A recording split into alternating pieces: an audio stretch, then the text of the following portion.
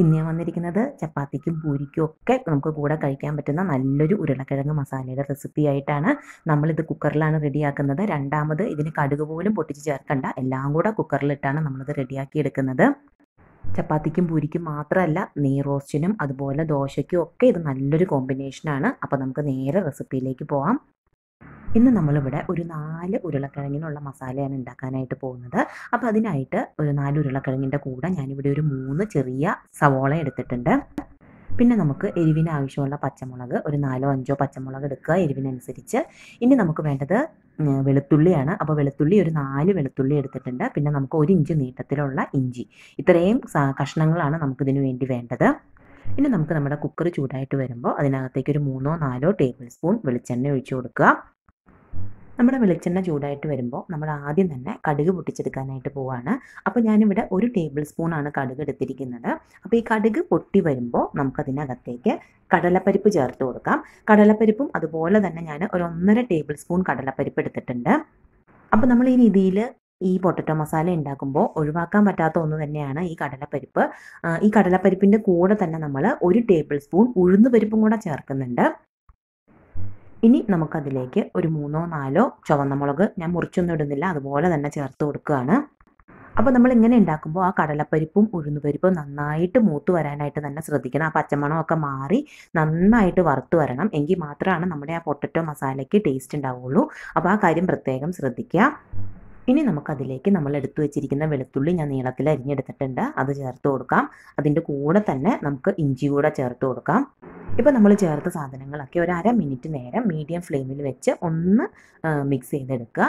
ഇനി നമുക്ക് ഇതിലേക്ക് നമ്മൾ അരിഞ്ഞു വെച്ചിരിക്കുന്ന നമ്മുടെ സവോള മൂന്ന് ചെറിയ സവോള എടുത്തു വെച്ചിരുന്നു.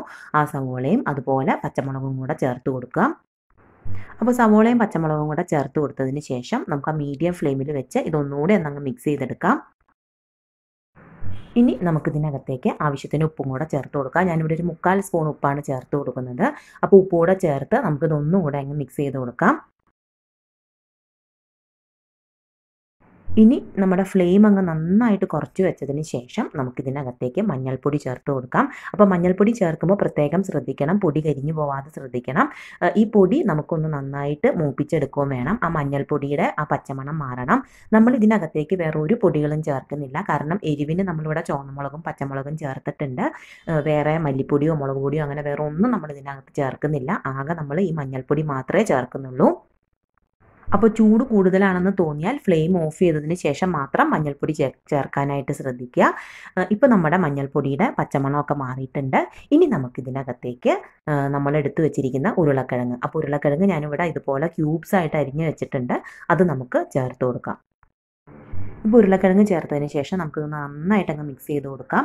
ഇനി നമുക്ക് ഇതിനകത്തേക്ക് വളരെ കുറച്ച് വെള്ളം ഒരു കാൽ ഗ്ലാസ് വെള്ളം ഒഴിച്ചു കൊടുക്കാം. അതിന്റെ അടി പിടിക്കാതിരിക്കാനായിട്ട് മാത്രമുള്ള വെള്ളം അപ്പോൾ വെള്ളം ഒട്ടും കൂടുതൽ ഒഴിച്ചു കൊടുക്കണ്ട. വെള്ളം കൂടുതൽ ഒഴിച്ചാൽ നമ്മുടെ ആ ഉരുളക്കിഴങ്ങ് മസാലയുടെ രുചി കുറഞ്ഞു പോകും അപ്പോൾ ഒരു കാൽ ഗ്ലാസ് വെള്ളം ഒഴിച്ചതിന് ശേഷം നമുക്കിത് വേവിക്കാനായിട്ട് വെക്കാം. നമുക്കറിയാം ഉരുളക്കിഴങ്ങിന് ഒത്തിരി വേവൊന്നുമില്ല. അപ്പോൾ ഒരു മീഡിയം ഫ്ലെയിമിൽ ഒറ്റ വിസിൽ വന്നാൽ മതി നമുക്ക് നമ്മുടെ ഉരുളക്കിഴങ്ങ് വെന്ത് കിട്ടാനായിട്ട്. അപ്പോൾ നമ്മുടെ കുക്കറിന്റെ ആവിയൊക്കെ പോയതിന് ശേഷം നമുക്കിത് തുറന്ന് നോക്കാം. ഉരുളക്കിഴങ്ങൊക്കെ നമുക്ക് നന്നായിട്ട് വെന്തിരിപ്പുണ്ട്. അപ്പോൾ നന്നായിട്ട് വെന്ത് കിട്ടണം നമുക്ക് നമ്മുടെ ഉരുളക്കിഴങ്ങ്. ഒന്ന് തൊട്ടാലത് ഇതാ ഇതുപോലെ ഉടഞ്ഞു പോകുന്ന പോലെ നമുക്ക് നമ്മുടെ ഉരുളക്കിഴങ്ങ് വെന്ത് കിട്ടണം. അപ്പോൾ അത് ശ്രദ്ധിക്കുക. ഇനി നമുക്ക് ഒന്ന് ഇതുപോലെ സ്പൂൺ വെച്ചിട്ട് ഇതൊന്നങ്ങ് ഇതുപോലെ ഉടച്ചെടുക്കണം നമ്മുടെ ഉരുളക്കിഴങ്ങ്. ഇനി നമുക്ക് ഫ്ലെയിം ഓൺ ആക്കി വെച്ചിട്ട് ഇതുപോലെ ഒന്ന് ഉടച്ച് നന്നായിട്ട് അങ്ങ് മിക്സ് ചെയ്തെടുക്കുക. ഇനി നമുക്കിതിനകത്തേക്ക് രണ്ടോ മൂന്നോ തണ്ട് വേപ്പില കൂടെ ചേർത്ത് കൊടുക്കാം. അപ്പോൾ വേപ്പില കൂടെ ചേർത്ത് ഒന്ന് മിക്സ് ചെയ്തതിന് ശേഷം നമുക്ക് ഇതിലേക്ക് ഒരു ഗ്ലാസ് വെള്ളം കൂടെ ചേർക്കാം. അപ്പോൾ വെള്ളവും കൂടെ ചേർത്ത് നന്നായിട്ട് മിക്സ് ചെയ്ത് കൊടുത്തതിന് ശേഷം നമുക്കിനി ഈ മസാല ഒന്ന് നന്നായിട്ട് തിളയ്ക്കണം. ഇനി നമുക്കതിലേക്ക് ഒരു പിടി മല്ലിയില കൂടെ ചേർത്ത് കൊടുക്കാം. അപ്പോൾ മല്ലിയില കൂടെ ചേർക്കുമ്പോഴാണ് നമ്മുടെ ആ, ഉരുളക്കിഴങ്ങ് മസാലയുടെ ആ കറക്റ്റ് ടേസ്റ്റ് നമുക്ക് കിട്ടുക. ഇത്രയേ ഉള്ളൂ നമ്മുടെ പൂരി മസാല. പെട്ടെന്ന് തന്നെ നമുക്കിത് റെഡിയാക്കി എടുക്കാം. ഞാൻ പറഞ്ഞ ഒന്ന് രണ്ട് കാര്യങ്ങൾ ശ്രദ്ധിച്ചാൽ ടേസ്റ്റ് ഒട്ടും കുറയാതെ തന്നെ നമുക്ക് കുക്കറിൽ ഇത് റെഡിയാക്കി എടുക്കാം. അപ്പോൾ എല്ലാവരും ഇതൊന്ന് ട്രൈ ചെയ്ത് നോക്കുക. ഞാൻ എപ്പോഴും പറയുന്ന പോലെ തന്നെ ട്രൈ ചെയ്ത് നോക്കിയാൽ മാത്രം പോരാ. ഫീഡ്ബാക്ക് എന്നെ അറിയിക്കുക. അതുപോലെ എന്റെ ചാനൽ സബ്സ്ക്രൈബ് ചെയ്യാതെ കാണുന്നവരുണ്ടെങ്കിൽ സബ്സ്ക്രൈബ് ചെയ്ത് തന്നെ സപ്പോർട്ട് ചെയ്യുക. പുതിയൊരു വെറൈറ്റി റെസിപ്പി ആയിട്ട് നമുക്ക് വീണ്ടും കാണാം. താങ്ക്